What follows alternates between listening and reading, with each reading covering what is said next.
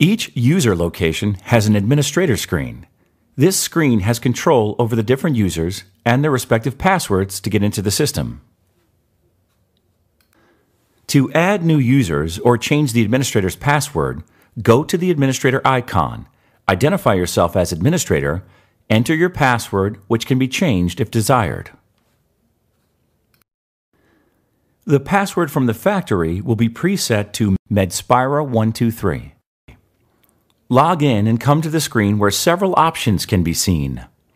One is the ability to modify the Bluetooth connection by tapping the Bluetooth icon.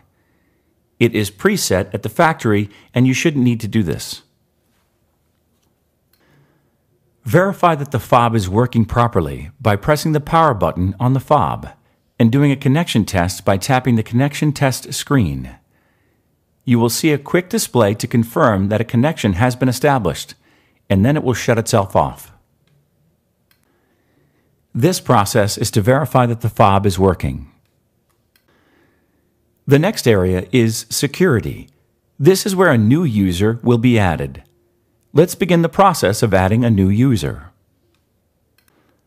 You may choose any name or ID for a new user. Simply enter the information in the ID section.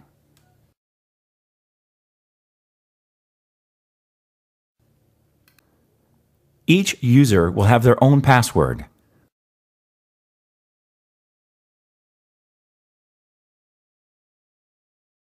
Once the password is entered, save the information as a new user.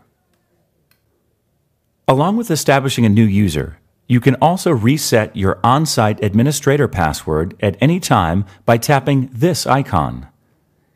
Again, the default administrator password will be Medspira123. The next function to discuss is activity. The activity icon will bring you to the different levels of the software that are available to you. The tablet PC comes with two software areas that are activated initially. One is the diagnostic. This allows you to do the actual test and also view reports. There is also an icon that you can choose for reviewing reports directly before the interpretation phase of the examination. This is if you have loaded the software onto any Windows 7 or Windows 8 PC, but not connected to the M Compass fob. You may opt for Report Viewing from this screen, or simply turn off this option. This is also the area where more compatibilities and software can be added to the system in the future and could be accessed. Once you have confirmed your Bluetooth connection, added new users, you may go back to the diagnostic area at this time. Confirm that you wish to log out of this screen, and it will take you back to the main home screen. This has been a review of the administration functions that are available as the on-site system administrator.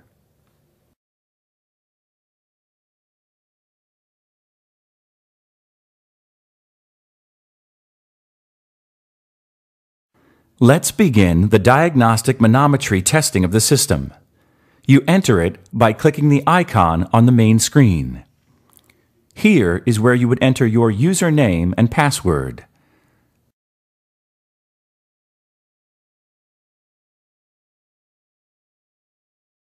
After tapping Login, it will bring you to the Patient Data screen. Instructions to this screen are located at the top as shown here.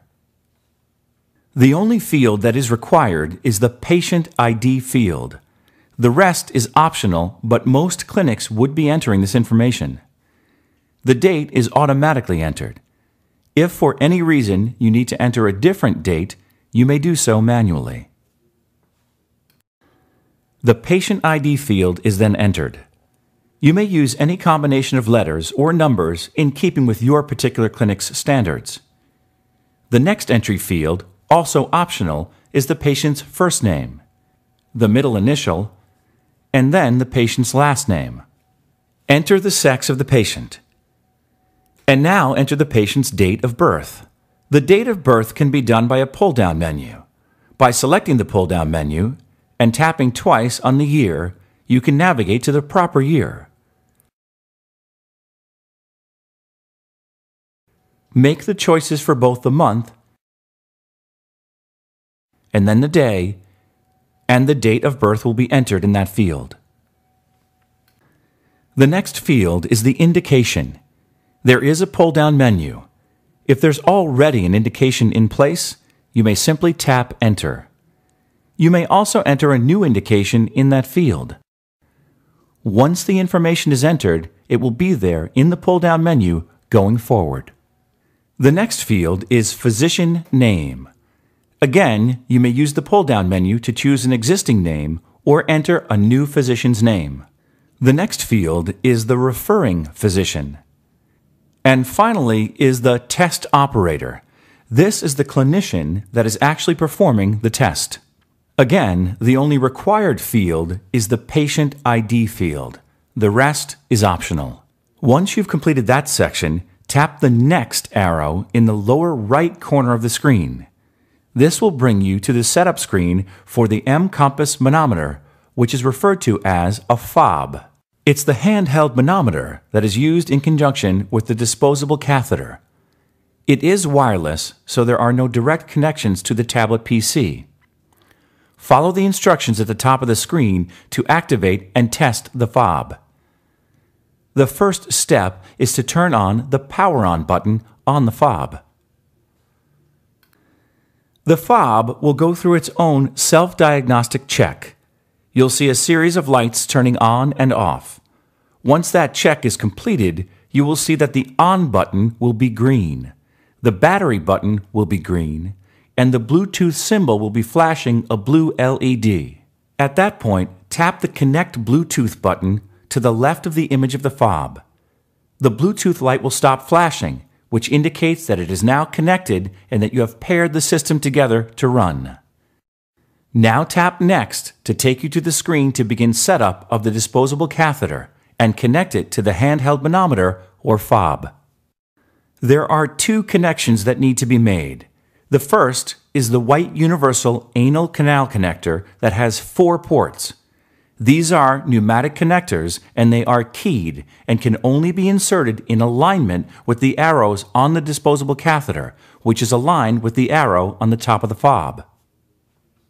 Assuring proper alignment and connection assures that the orientation of the measurement balloons is always the same. The connection, when firmly and properly seated, will create a pneumatic seal. The next connection is the 3 inch long extension tube. One end of the tube connects to the four way stopcock that's part of the catheter. The other end is connected to the single luer connector, located on the front of the fob next to the anal canal measurement balloon port. Once you have made both connections, tap the fob connected button and verify that the connections are correct and properly sealed. As you follow the instructions at the top of the screen, you will see that it says to turn the lever on the fob to position 2. There is a gray lever on the side of the fob. During setup and use, this lever will have three positions. Position 1 is in the down position. Position 2, as shown in this screen, is in the up position. And position 3 is forward, facing the catheter position. The instructions will indicate that it is now time to prime the system. You will need to turn the lever to position 2 as indicated. The software will automatically indicate that you have done so. Now you need to prime the system with 3 cc's of air. As the graphic indicates, you should utilize the provided 5mm syringe loaded with 3 cc's of air. Connect it to the top of the priming port, which is located under the cover on the top of the fob. You will then press 3 cc's of air into the fob and then into the catheter. You will notice that the four channels of the measurement balloons on the catheter on the distal end will inflate and become firm. The syringe, while holding the plunger down, is removed from the fob. As the instructions indicate, you then now move the lever to position 3 and now you are ready to do a complete test. It is important to note that the four anal canal balloons won't necessarily be as firm as when they were first injected with the 3 cc's of air because they equalize when the syringe is removed, but they will have air pressure in them. By clicking the next arrow in the lower right corner, you will be taken to the prime screen to confirm that the priming process has been done properly. The four balloons have air pressure in them, they are inflated slightly, and you can confirm by tapping the prime button. The next screen describes the proper insertion of the catheter into the patient. There is an illustration at the bottom of the screen depicting the letter P as it appears on the posterior side of the catheter.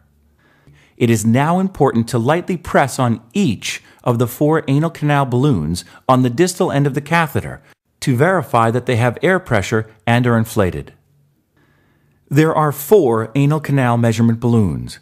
There's one located on the posterior side, one on the anterior side, one on the left, and one on the right. Each one of these represents an independent channel and takes their own measurement. The graphic on the screen indicates that the orientation requires that the P be oriented facing the spine. The A should be oriented forward on the patient, and the left and right will be corresponding to the patient's left and right arms. The instructions remind you to lubricate the distal end of the catheter device and instruct the patient to relax. Utilize a standard lubricant to the distal end, the rectal balloon, and the four anal canal balloons. The catheter features a soft, flexible tip, but has enough strength and firmness to be inserted without the use of your finger. Gently insert the catheter through the sphincter to the point where you would be located to the zero location on the catheter. As the graphic shows, there are indicator lines on the catheter. They start at zero, then go to 1, 2, 3, 4, and 5. With a typical patient, the four anal canal balloons should be just inside the anal verge at catheter position 0. Anal canals range between 20 millimeters and 45 millimeters in length. At this time, if you also choose to measure rectal pressures, which is also part of the M Compass system, you will need to prime the rectal balloon. This is done by taking the provided 60 cc syringe, filling to the 60 cc mark, and connecting it to the open port on the four way stopcock. Then turn the stopcock knob so that it's now open to all three channels. Prime the rectal balloon with the 10 cc's of air. At that time, once you're holding it with the 10 cc's of air, turn the stopcock so that it's now just communicating between the fob and the rectal balloon. 10 cc's of air are needed because this is an air charged manometry catheter, and the air is used to transfer the pressure levels back to the pressure sensors in the portable manometer. Without having any air in the system, you would not be able to take a rectal pressure. During the implementation of the device, you will be inflating and deflating the rectal balloon. You must always maintain 10 cc's of air in that rectal balloon to maintain the ability to take pressure. Once you have connected the rectal balloon and it's inflated, tapping the next arrow in the lower right corner of the screen will take you to the testing area.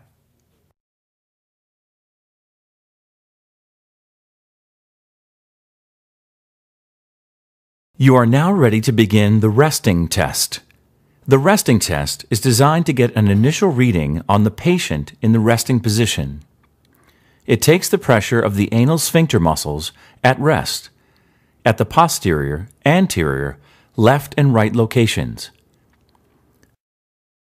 The graphic displays the posterior, the left, the anterior, and the right. The graphic shows the individual balloon's position as they relate to the patient. Step by step directions are located at the top of the screen. Begin the resting test by telling the patient to relax, and you need to enter the catheter position and tap Run and pause. The catheter position is located down on the bottom of the screen. Tap Location, start at 0, and you can select locations 1, 2, 3, 4, or 5. The graphic next to the numbers displays the depth of the catheter insertion. Warning indicators are at location 3, 4, and 5, because at that point you are generally past the standard anatomy of a patient, and the catheter position would extend into the rectum. For this example, we'll select location 0, which is just inside the anal verge. Tap the catheter position and verify that it's at 0. Tap the Run button in the lower part of the screen, and this will begin the test. On this test, a standard 20 second countdown will be displayed. You'll see a countdown clock at the bottom of the screen. There is also a pause button or a restart button that you can use at any time to stop or start the test. After 20 seconds, the resting test will automatically send you to the next test, which is called the squeeze test. If for any reason you need to redo a resting test, you can simply tap the resting icon and restart. You will need to select the catheter position again and then redo the resting test. The purpose of the resting test is to get a baseline reading of the posterior, anterior, left, and right functions of the patient. The next test is called the squeeze test. As the name suggests, the patient is instructed to squeeze as if holding in a bowel movement. Readings will be taken from the posterior, left, anterior, and right positions. Confirm the catheter position by tapping the catheter button again. In this example, we are still at position 0 on the patient, so tap that button. You will see a 5 second delay before the Run button comes up. The 5 second delay allows the M compass to take an initial reading before the patient begins their squeeze. Each squeeze should last for 20 seconds, and then there is a 1 minute wait between each squeeze. The system is capable of handling up to five different squeeze tests at each catheter position. Most patients will do one to three. When the patient is ready, tap the Run button. Then instruct the patient to squeeze. Pressure is being applied to the balloons by their squeeze. Encourage the patient to continuously squeeze as long as they can through the 20 second countdown. Once the countdown hits zero, Instruct the patient to stop squeezing and relax. The standard protocol says to wait one minute between squeezes.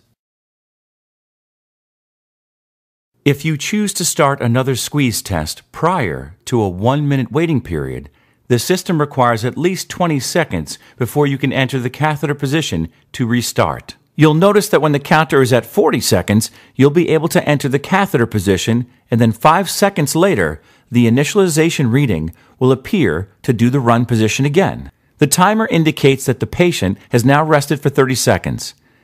Tap the location button of the catheter again. This takes the initial reading for 5 seconds. The run button will activate again, and another test can be initiated. Again, instruct the patient to sustain their squeeze for the full 20 second period.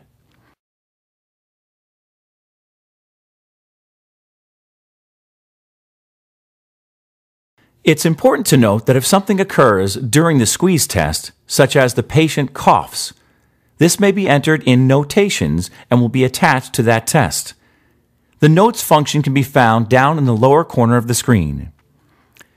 In this example, we will enter that the patient coughed during the test, and that will now be recorded in the history of her test.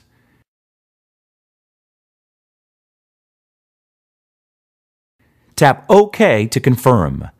Notes can be added to any of the six tests at any time to assist in remembering specifics about each test conducted. A third test is conducted in the same manner. The catheter position is entered, confirming that you are still in position zero. A five second initialization will occur. Then tap the Run Test button.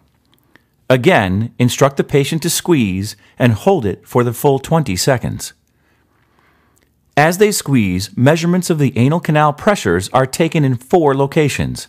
After the 20 seconds is completed, instruct the patient to relax and rest. You can perform as many as five of these tests. Most clinicians do one to three. When completed, tap the Next Test button and you will proceed to the next test, called the Expel Empty test. This test entails instructing the patient to simulate trying to expel a bowel movement. It's described as an expel empty test as it is done with an empty rectal balloon. The balloon is already primed with 10 cc's of air.